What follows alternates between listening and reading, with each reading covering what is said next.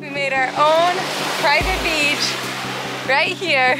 There's no one else anywhere. A little blanket to lay on.